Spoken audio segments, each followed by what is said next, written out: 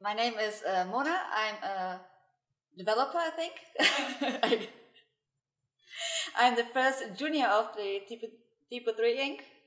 So I'm kind of like the test phase. and uh, yeah, my obviously, if I'm a junior, my main focus right now is learning more of the core and more the, about the people in the core team. And yeah, that's what I do.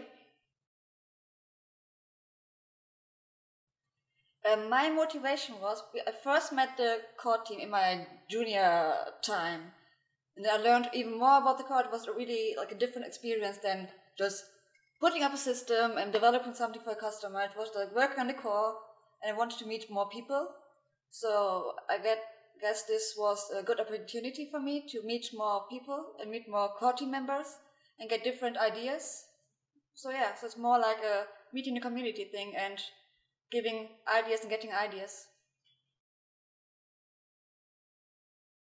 I think it's great that many people are sponsoring and even personally putting some money into developers or designers or whoever they need to like improve the whole TYPO3 system because I, I think it's a benefit for all because we are like you also spend sponsoring the next generation of people not only you already have the core team members or the old members who are working with TYPO3 for 10 years or more who already are at every meetup, but now you have the opportunity to like send your own people or maybe send your own developer or send some people who you think like had a good idea and that just on them to have like new input into the community. So that's why I think it's a great thing.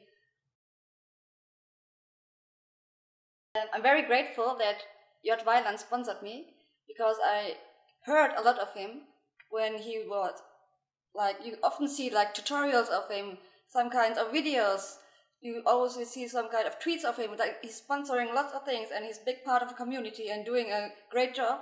So it was great to know that he puts trust in other people and sponsored other people to let them even to give more access to the, the more access to the community and just trust us to develop the system and is is even putting his own money into it. This just shows like his confidence in the system and in the way it can develop. So yeah, I'm very grateful and I think it's great that he sponsors me personally.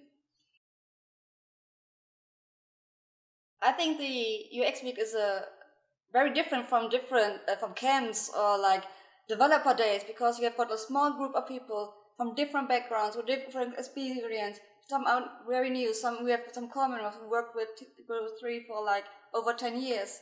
So you got the input, you have modern uh, aspects, and can be some older. So you have always fresh ideas. So it's a great, a great opportunity to sit together and like just talk about it. And since we are in the middle of nowhere for like a whole week, and we just and it's cold here and there's nothing else to do, you can just sit there for a whole day and maybe even when we go later to the bar and drink, just start talking again and going over ideas again. So it's like a different approach. In the camp, you've got like your talks, and there you sit there, and most of the time you just listen, and you don't have much time to talk to people. And here it's different. You meet people, and maybe you make you meet people who have like the same idea, want the same future uh, feature as you, so you can work with them and like make a concept, make a draft. And you don't even have to be a developer for it, but you can be a designer and say, "Hey, I got this idea I make a draft for it and ask like a member, a core team member, like, is it possible to do this? So every person has the opportunity to participate, and it's uh, an open event for everyone.